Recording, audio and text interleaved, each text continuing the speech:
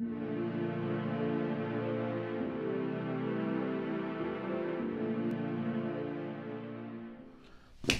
y'all, what's up? My name is Justus. So today I got an unboxing for you. I felt like sharing the love with y'all, alright? So I got me the Zoom Rival S9 Nike.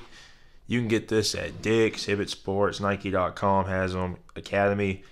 I specifically got these on Dicks.com because they didn't have them at the store. I did just look today; they do have them now. Um, they go for sixty-five dollars. I saw them for fifty-nine ninety-nine at some places.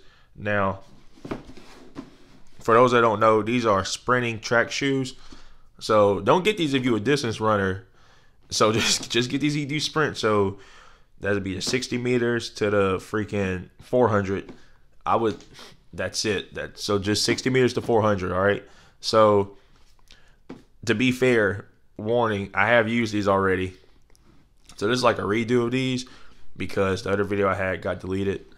So I'm gonna be redoing this unboxing for y'all for the ones that never seen it. It did get to like 2k views, so obviously some people saw it, but if you didn't, you didn't. If you did, you did. So this right here, I got them in black, so I'm gonna show you. And like I said, I have used these shoes already for this track season, so they already have this. You'll see.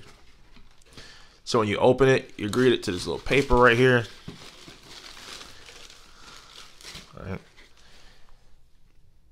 They give you this right here. Has a Nike icon embroidered on on it. Is is like lemon lime, like their Gatorade. Um, there it goes on this side. Use this for the spikes. They give you a Nike racing bag for your cleats, for your track shoes, which I haven't even used this season.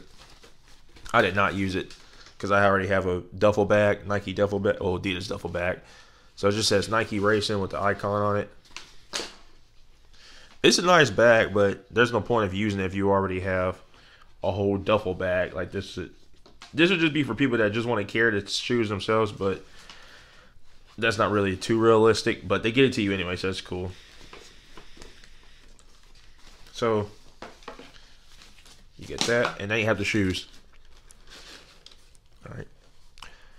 So like I said, it's black, cosmic blue,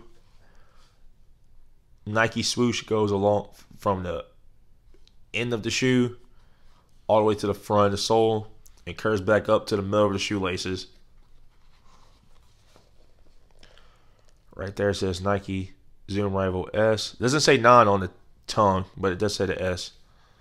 Like I said, I wore these before, so and there it said Nike Racing. Nike logo again on the bottom.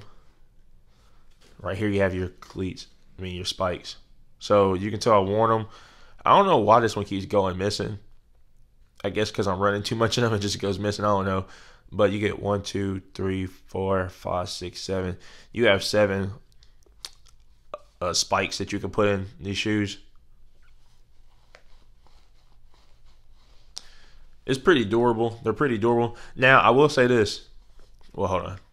We have Nike Racing since I have worn these already, I'll say this: these, if you live in a state like me, I live in Mississippi, so if you live in like, because I raced in Mississippi and Louisiana, so I can verify you live in Mississippi, Louisiana, or Florida, Alabama, even probably Texas.